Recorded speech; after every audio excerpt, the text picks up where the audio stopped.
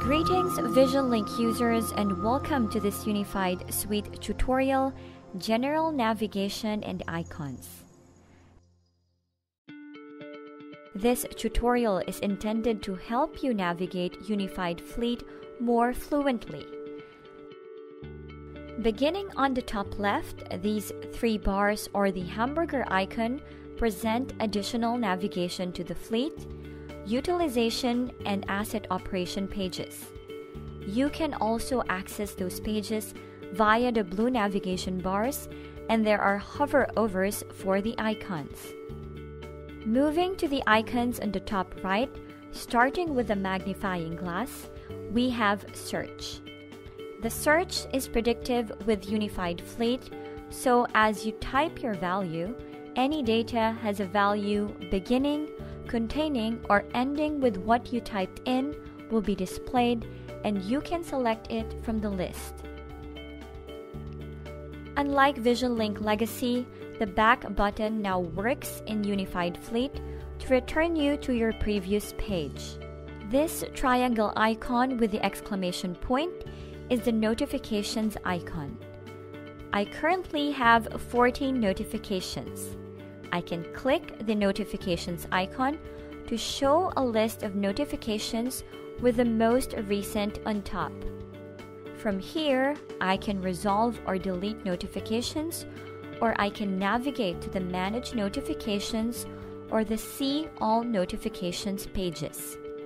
The application launcher is where I launch other VisionLink applications or other tabs of VisionLink Unified Fleet. The user icon contains my account selection if I happen to have multiple accounts. My preferences where I can set language, units, and date preferences, and also manage reports. You can also log out here. Moving down the page, these three dots are the actions bar. The actions bar for each page in each widget are very important as you can do several things such as generate reports or edit widgets. You also have the ability to view individual widgets actions bar. Viewing from the fleet page here, the actions bar can be used to access my settings where I can define my columns and also where I can create notifications or reports.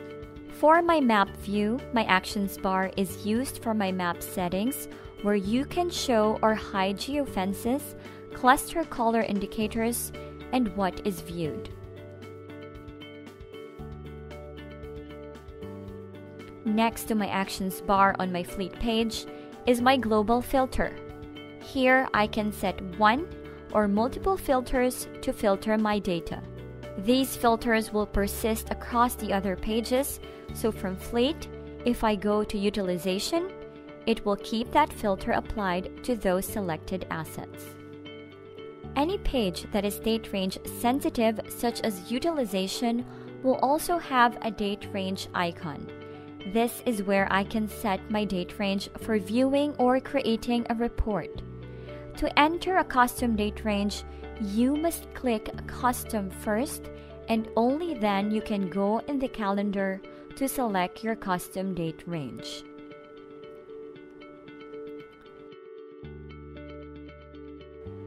The Refine button next to the Date Range button is simply used to quickly refine or clear your filters. On our bottom left is our help icon. Here, you can access Getting Started, which will also give you access to additional tutorial videos to learn VisionLink Unified Fleet. VisionLink Unified Suite, General Navigation and Icons, thank you very much.